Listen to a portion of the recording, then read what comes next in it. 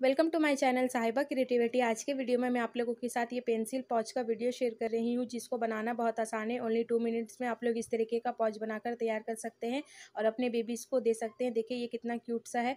अगर आप लोग मेरे चैनल पर न्यू है तो प्लीज़ सब्सक्राइब कर कर बेलाइकन को क्लिक कर लीजिए। चलिए, वीडियो को स्टार्ट करते हैं। इससे पहले वाले वीडियो में मैंने इस तरीके फ्रिज का कवर बनाया तो इस तरीके का दो पीसेस बच चुका है मेरे पास। आज इसका रीयूज़ कर रही हूँ। इसकी चौड़ाई यहाँ पर ढाई इंच है और इसकी लंबाई साढ़े इंच है। इस तरीके का दो पीस मैंने यहाँ पर लिया है। इसी के नाप से लाइनिंग कट कर रही हूँ। मेरा ये मोटा वाला फैब्रिक है तो मैंने ये सिर्फ़ लाइनिंग का यूज़ किया है अगर आप लोगों के पास। पतला फैब्रिक है तो फिर आप लोग लाइनिंग की जगह फॉर्म शीट रबर शीट और लाइनिंग लेने के बाद फिर उसको क्विल्ट कीजिएगा। देखिए, यहाँ पर मैंने लाइनिंग को कट कर लिया है।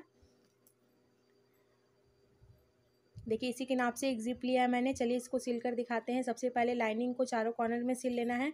पतला कपड़ा अगर आप लोग यूज़ कर रहे हैं तो बीच में आप लोग बकरम वगैरह देकर इसको इस तरीके से सिल लीजिएगा।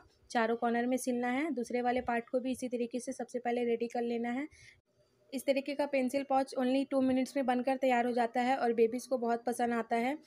देखिए, इसके चारों कॉर्नर में भी सिल लेंगे ज़रूरी नहीं कि आप लोग इसमें पेंसिल ही रखेंगे, आप लोग अपने मेकअप प्रोडक्ट्स भी रख सकते हैं और जितना भी एक्स्ट्रा रहेगा उसको कट कर देना है। एक्स्ट्रा पार्ट को कट कर देंगे ताकि वो जब हम लोग ज़िप लगाएँ और ज़िप ओपन करेंगे तो एक्स्ट्रा पार्ट से वो फंसेगा नहीं। देखिए, ज़िप को उल्टा रखते हुए स्ट्रेट में सिल लेना है। स्ट्रेट में सिलने के बाद इसके ऊपर टॉप स्टिच लगा लेना है ताकि ज़िप फंसे ना ओपन करते वक्त। दूसरी साइड में भी हम लोगों को इसी तरीके से ही ज़िप लगाना है।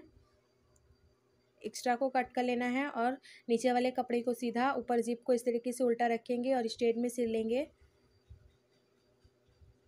स्ट्रेट में सिलने के बाद इसके ऊपर भी टॉप स्टिच लगाकर तैयार कर लेना है। अगर आप लोग न्यू सिलाई सीख रहे हैं तो भी आप लोग अगर वीडियो को फुल वॉच करेंगे तो आसान तरीके से ये पेंसिल पॉच बनाकर तैयार कर सकते हैं। देखिए मैंने दूसरी साइड भी जिप लगा लिया है और इसके ऊपर भी टॉप स्टिच लगा लेंगे।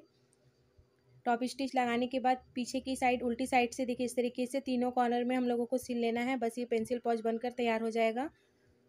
देखिए, टाँका अच्छी तरीके से लगाना है और जितना भी एक्स्ट्रा रहेगा उसको कट कर देना है। अगर आप लोग चाहें तो यहाँ पर पैपिन लगा सकते हैं ज़्यादा फिनिशिंग के लिए। मैं इसी तरीके से ही रख रही हूँ। यहाँ पर ये देखिए, ये जो कॉर्नर है, दोनों कॉर्नर में हम लोगों को कट लगा लेना है ताकि ये कपड़ा जो मैंने यूज़ किया है ये बहुत कड़क वाला कपड़ा है तो कॉर्नर कॉर्नर में अगर कट नहीं लगाएँगे तो वो सीधा अच्छी तरीके से नहीं होगा। अच्छी तरीके से सीधा करने के बाद कॉर्नर को निकाल लेना है और ये रेडी टू यूज़ हो जाएगा। यहाँ पर मैं आप लोगों को पेंसिल रेज़र शॉर्पनर वगैरह रखकर भी दिखा रही हूँ। तो आज का वीडियो आप लोगों को कैसा लगा कमेंट कर कर ज़रूर बताइएगा और दूसरे चैनल का लिंक डिस्क्रिप्शन बॉक्स में है, उस चैनल को भी सब्सक्राइब कर लीजिएगा। मैं अपने नेक्स्ट वीडियो में मिलती हूँ।